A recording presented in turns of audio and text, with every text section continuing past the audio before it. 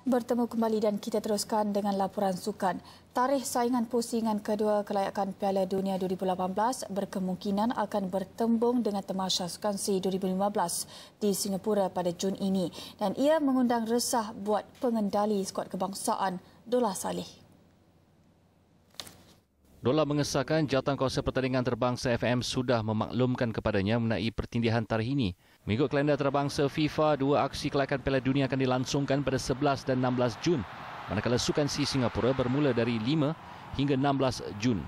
Ada ya memang uh, kita dapat maklumat daripada ni lah daripada international department ni lah, mengatakan uh, benda ni diorang akan usahakan lah untuk apa pastikan uh, pastikan benda tu tak bertindih. Apapun difahamkan terdapat juga kemungkinan Konfederasi Bola Sepak Asia mengubah dua tarikh tersebut bagi memastikan ia tidak bertembung dengan Sukan C. Kata putus mengenai tarikh perlawanan akan hanya diketahui apabila undian bagi aksi pusingan pertama kelayakan dibuat pada Februari depan.